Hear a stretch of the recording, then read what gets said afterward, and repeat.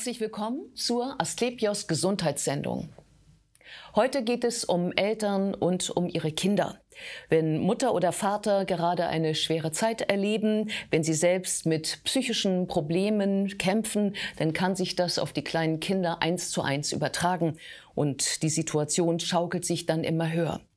Im Asklepios Klinikum Harburg gibt es eine Therapiestation für Säuglinge, Klein- und Vorschulkinder sowie deren Eltern, wo man Hilfe bekommen kann. Und bei mir sind Britt Maike Fischer-Pinz, sie ist Erwachsenenpsychiaterin, und Katja Götting, sie ist Psychotherapeutin für Eltern, Säuglinge und Kleinkinder. Und beide leiten gemeinsam die Therapiestation. Schön, dass Sie Zeit haben.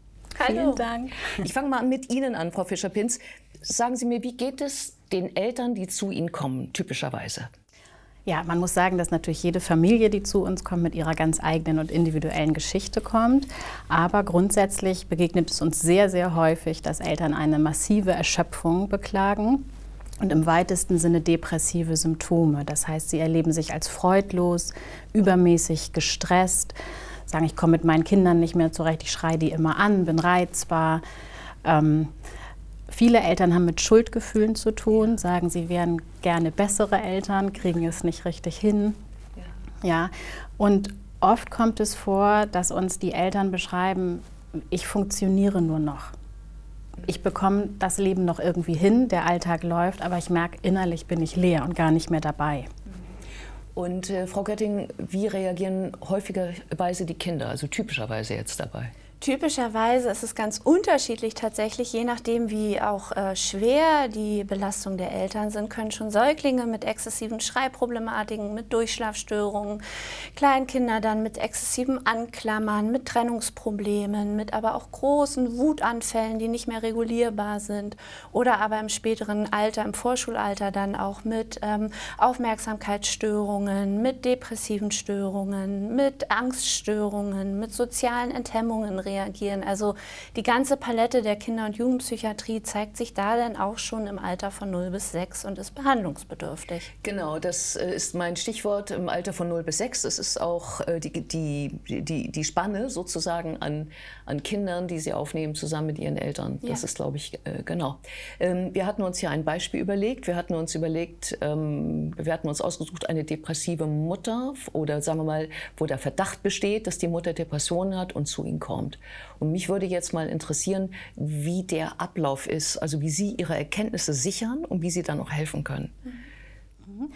Äh, die Voraussetzung für eine Aufnahme auf unserer Station ist, dass sowohl das Elternteil als auch das Kind eine psychiatrische Diagnose hat, eine mhm. Aufnahmediagnose. Und das bedeutet, dass wir getrennt voneinander äh, Vorgespräche führen. Das heißt, ich würde die Mutter kennenlernen und in einem psychiatrischen Gespräch eine Diagnose stellen. Mhm.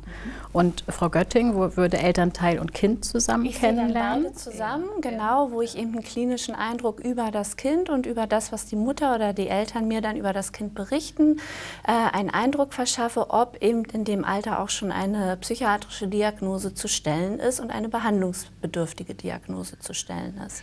Genau, und Sie hatten ja dann in unserem Beispiel festgestellt, dass bei der Mutter eindeutig Depressionen zu diagnostizieren sind. Und ähm, wie könnte jetzt in unserem Fall das Kind damit umgehen? Also in unserem Fall haben wir da ein 14 Monate altes Kind gesehen, was auffallend, ähm, teilnahmslos im Zimmer, äh, Kinder typischerweise sich schon auch nach einer Anwärmphase für das Spielmaterial interessieren. Dieses Kind ja wie emotional apathisch, eingefroren nennen wir das, in einer Ecke saß, mehr oder weniger an die Wand starrte und in keiner Art und Weise Kontaktmöglichkeiten hatte, zu mir aufzunehmen, aber auch mit der Mutter nicht im Austausch war. Dieses Kind kein alterstypisches Explorieren, Spielen, ähm, Kontaktsuche gezeigt hat, ähm, keine Laute von sich gegeben hat. Kinder in dem Alter ähm, lautieren, sprechen ja auch schon, ja. Ähm, sind neugierig und schauen in die Welt. Und dieses Kind hat ähm, ja ohne Lust an der Welt in, ähm, depressiv ausgesehen tatsächlich. Mhm. Und auch das, was die Mutter über den Kindergarten berichtet hat, er war schon im Kindergarten, da hat sich das Bild auch gezeigt. Und wenn sich das eben in verschiedenen Kontexten zeigt, stellen wir dann eine Diagnose, die behandlungsbedürftig ist. Ja. Ähm, Sie, die Spezialität Ihres Hauses ist ja, ähm, dass Sie ja beide eigentlich zusammen therapieren können, aber nicht nur, sondern Sie machen auch getrennte Therapien für Mutter und für Kind, oder? Ja, das ist richtig. Also es ist so, dass von der erwachsenentherapeutischen Seite, die meistens ist es die Mutter, muss ja. man sagen, das ja. dürfen aber auch Väter sein, ja, natürlich, ähm, natürlich. dass es einzeltherapeutische Gespräche gibt, auch Gruppentherapie nur für die Erwachsenen und ein wesentlicher Bestandteil unserer erwachsenentherapeutischen Intervention ist Achtsamkeitstherapie. Ähm, und das ist was, was dann wirklich erstmal nur die Eltern betrifft. Und auf der kindertherapeutischen Seite haben wir auch unterschiedliche Therapiebausteine, auch wieder an das Alter angepasst. In diesem Fall jetzt zum Beispiel bei Kindern im Alter von 0 bis 3 bieten wir eben dann ähm, zweimal wöchentlich Mutter-Kind-Interaktionsbeziehungstermine an, wo sie dann eben in einem therapeutischen Setting ähm, sich kennenlernen, Signale lernen zu lesen, aufeinander einzugehen, Bindung aufzubauen, ähm, die auch äh, Bewegungstherapie gemeinsam haben, Ergotherapie gemeinsam haben die aber auch ein 14 Monate altes Kind kann auch schon in einer Kleingruppe integriert werden, also mit anderen Kindern seines Alters lernt, äh, in Kontakt zu gehen. Ähm, und eben, was bei uns ja auch sehr wichtig ist, ist die Milieutherapie, also auf Station, wo eben im Grunde rund um die Uhr 24 Stunden Pädagogen und Pfleger dann die Eltern und ihre Kinder anleiten, einen wieder alterstypischen Familienalltag zu etablieren, weil das ja alles äh, außer den Fugen geraten ist. Ja, das ist ja äh, sicherlich die Skepsis, die äh, Patienten haben, bevor sie zu ihnen kommen, dass das alles so künstlich ist. Jetzt sagen Sie, Sie nennen das eine, eine Milieutherapie. Ähm, wie stelle ich mir das praktisch vor? Also wie, wie ist das? Also ich, ähm, ist es dann so beim Schlafengehen oder beim Frühstücken oder je nachdem, wie alt das Kind ist, beim Wickeln, dass jemand neben mir steht?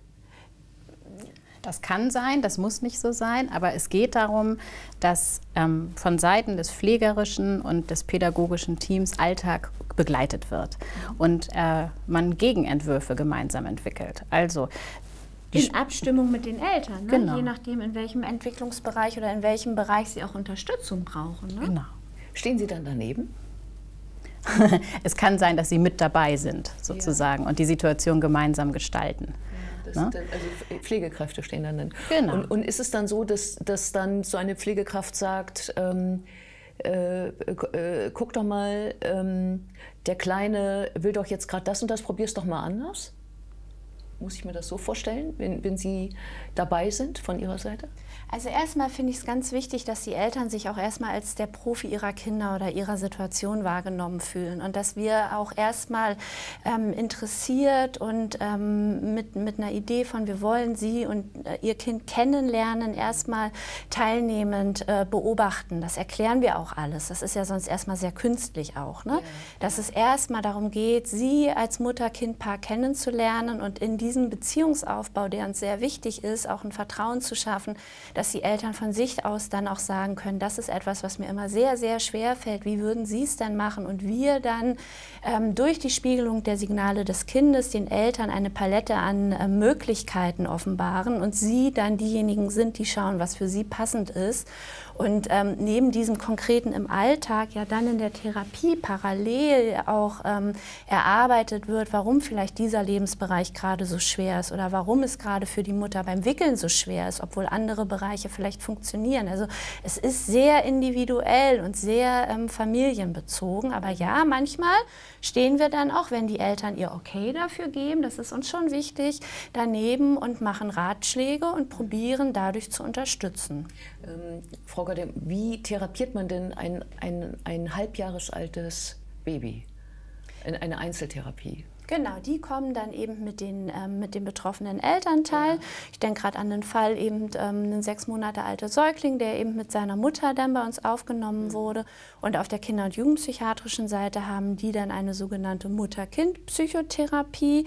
Da gibt es unterschiedliche Techniken, dass die Mutter für die Signale des Säuglings, die sie oft depressiv verschleiert, ähm, gar nicht wahrnehmen kann oder vor dem Hintergrund einer eigenen schwierigen Geschichte fehlinterpretiert, dass wir aus der Perspektive des Säuglings ähm, die Mutter ansprechen, ja, was er vielleicht gerade mitteilen möchte, was er sich von ihr wünscht, was er gerade braucht und leiten dann an, ähm, die Mutter sich da auszuprobieren. Und es ist ganz wunderbar, ähm, Säuglinge Kleinkinder sind da ganz dankbar, wenn die Mutter sich ihnen zuwendet und die Signale einzuordnen weiß und prompt darauf reagiert im Sinne der Feinfühligkeit und die Mutter merkt, ich bewirke was in meinem Kind ähm, und das Kind sich ihm zuwendet. Das ist schon ähm, ein großes Aha-Erlebnis. Ja, das glaube ich.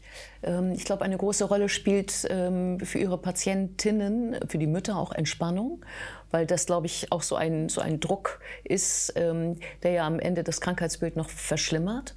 Und Sie bieten ja da mehr als nur die Therapie, oder? Genau. Ähm, Teil der Gesamttherapie ist, äh, dass bestimmte Techniken auch gelernt werden im gruppentherapeutischen Setting, Entspannungstechniken, bestimmte Bewegungstechniken. Worum es dabei immer geht, ist, wie kann ich einen Umgang mit meinen Gefühlen lernen.